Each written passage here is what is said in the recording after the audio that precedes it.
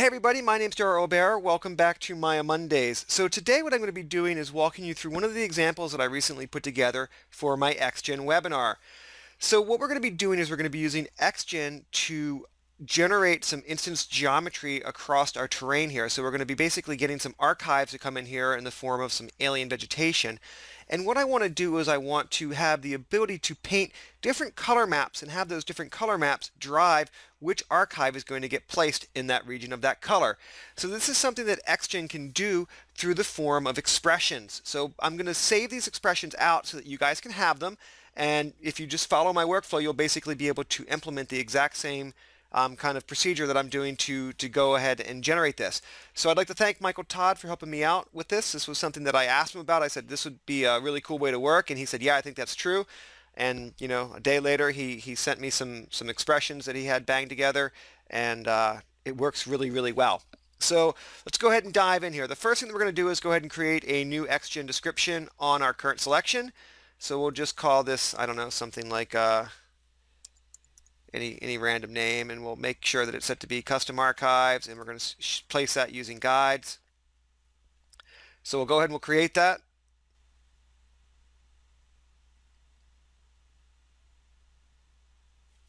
All right, so with that done, the next thing that we're going to do is go ahead and just bring up the XGen window. And we'll go ahead and we'll place a couple guides in our scene that'll give our instance geometry somewhere to go.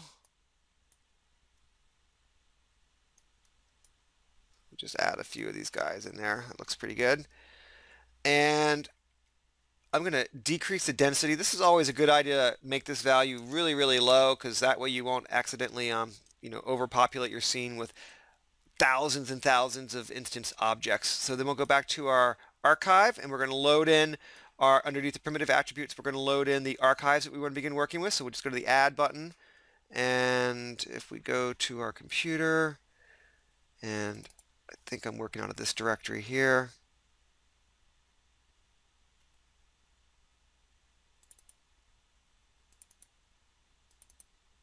And we'll just grab a few of these. So we'll grab those guys right there.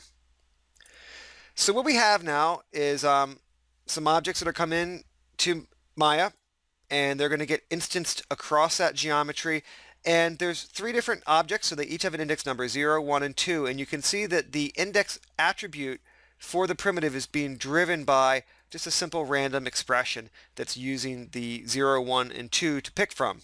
So what we want to do is we want to actually have something that drives this index attribute based on painted maps. And this is something that isn't kind of built into XGen, but something that can be added to it relatively simply just with a few custom attributes or custom expressions. So what we're going to do is jump over to the expression tab and the first thing that we want to do is create a new expression that's going to um, hold the texture map. So we're going to go ahead and call this, um, it's not going to be a float, it's going to be a color file because it's going to be a texture map. So we'll just call this a color and map. So this is going to be my attribute color map. So we'll go ahead and we'll create that. And the next thing that we need to do is we need to create a new expression, a second expression in our in our little expressions tab here that's going to take the color information out of this um, a color map that we're going to paint and turn that, you know, red, green, blue value for any given color range into an integer value that then will get driven into that index number. So this is um, going to be done via a float attribute. So we're just going to call this one a color. And when you're doing this, I'm going to save these um, expressions out for you. Make sure that you um, use the exact same maps because the expressions obviously you're going to be referencing the, the names of these maps. So we'll go ahead and we'll make that guy. So with that done, we can go ahead and we can load into this um, this float value, the kind of tool that has the ability to take color information and turn it into an index number.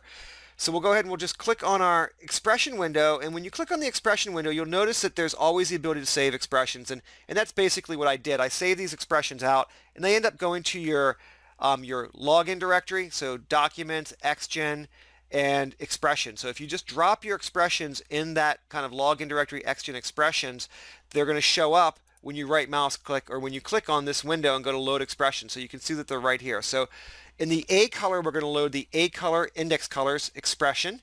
And really what this is, I'll, I'll open the expression up so you can get a sense of what it's doing here, is it's, it's basically, the first thing that it's doing is it's defining a variable, dollar sign $a, and that's equal to this color map, right? So that's how that color map information is getting passed into this guy. And then we're giving it a, a, a tolerance. So the slider gets built for the tolerance. And then we're specifying the different colors that are going to get assigned to the different index values. So color 0 is going to get assigned to index 0, and that's just going to be simply red.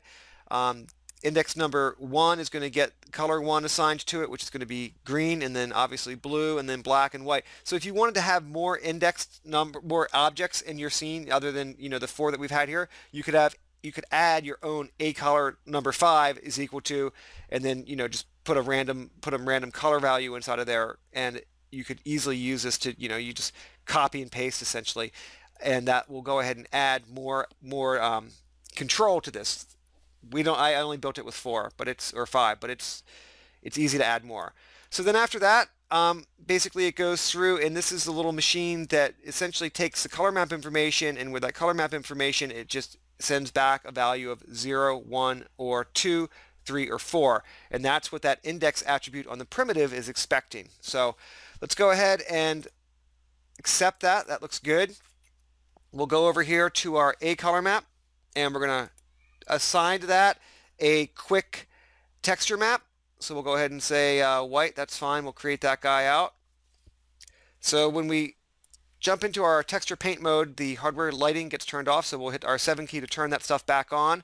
And we'll just bring up that 3D paint tool and we'll paint red you know, maybe over here and somewhere like over there. Jump into this guy, change its color. It's a good idea to also make sure that your brush is set to a solid profile. That's going to make it work a little bit better. So then we'll paint some green information maybe here and over here and maybe back there. And then we'll finish off by painting some, some blue, you know, kind of around in this area. So that all looks pretty good. So um, if we go ahead and we save this guy out, what we're doing now is we're converting that UV-based map that we were painting with the standard Maya 3D Paint tool into a PTEX texture, which is exactly what we need to do so that XGen can understand it. So the last thing we want to do is jump back to our primitives tab here and instead of having this random number generator driving that index value, we're going to load one more expression up. So the expression that we're going to load is just um, the primitive index from map. So as soon as we do that, again, we'll have to hit that 7 key one more time. But you can see here, based on these index numbers, and if we increase the, uh, the preview of these guys,